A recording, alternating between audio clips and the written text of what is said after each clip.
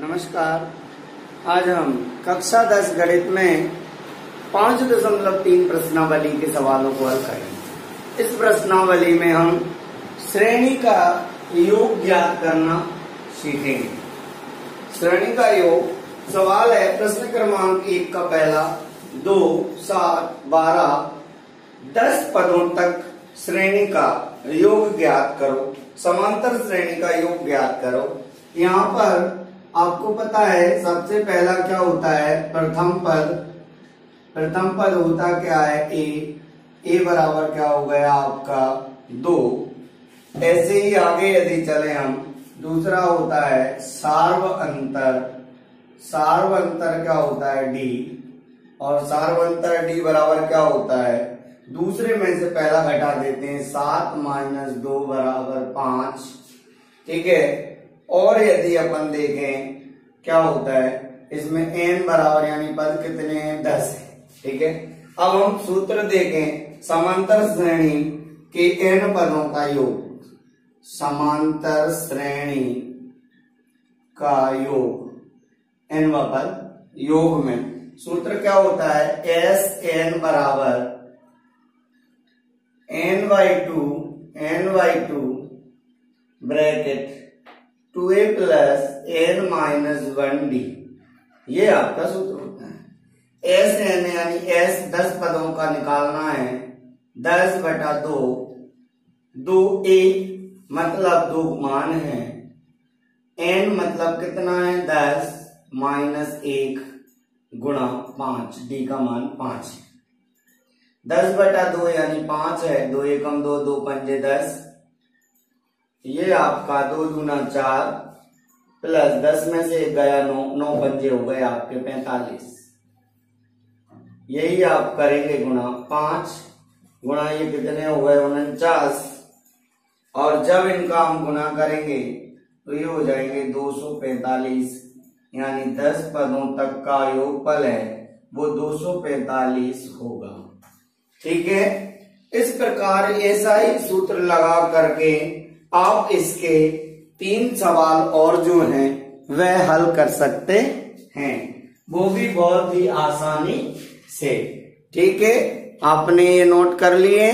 अब आइए मैं आपको प्रश्न क्रमांक दो के सवाल हल करके बताता हूँ। प्रश्न क्रमांक एक के हमने हल किए। अब आप बाकी के तीन आप सेम ऐसे के ऐसे हैं, आप स्वयं हल कर लेंगे। अब आइए आप। मैं बताता हूँ प्रश्न क्रमांक दो। पहला नंबर है सात प्लस दस सही एक बटे दो प्लस चौदह और प्लस डैश डैश डैश चौरासी। इतना क्या करना है? दिए गए को योगफल ज्ञात करना है। क्या ज्ञात करना है? योगफल ज्ञात करना। इस ऐसी श्रेणी यदि आ जाए तो आपको दो फॉर्मूला लगाना पड़ेंगे। ये चीज़ ध्यान रखने की बात है। ठीक है? सबसे पहले हमने हल किया, इस श्रेणी को सही कर लो, सात। इसको सही करें तो दस दूनी बीस, एक इक्कीस बटे दो। प्लस चौदह, प्लस डैश डैश और चौरासी। ठीक है? अब हमने आगे क्या करना है? हमें यहाँ पर देखते हैं कि इसमें क्या है? ए बराबर कितना हो गया? सात। और ए एन यानी आखिरी का जो पद है ए एन वह कितना हो गया? चौरासी। हमें यहाँ पे एन का मान ज्ञात करना पड़ेगा। किस चीज़ का? एन का मान ज्ञात करना पड़ेगा। हम लिखते हैं, समांतर श्रेणी का एन व पद। समांतर श्रेणी का एन व पद होता है ए एन बराबर A plus N minus one D. A N का मान है चौरासी बराबर ए का मान है सात प्लस एन हमारे पास नहीं पता और डी हमारा कितना है हो गया? डी का मान हम निकाल लें। डी यही निकाले हम। डी बराबर क्या हो जाएगा आपका? इक्कीस बटे दो माइनस सात बटे एक। तो ये आपका दो।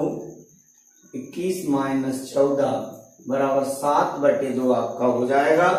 तो ये गुणा कर देंगे सात बटा दो। ठीक है? अब हम इसे सॉल्व करेंगे।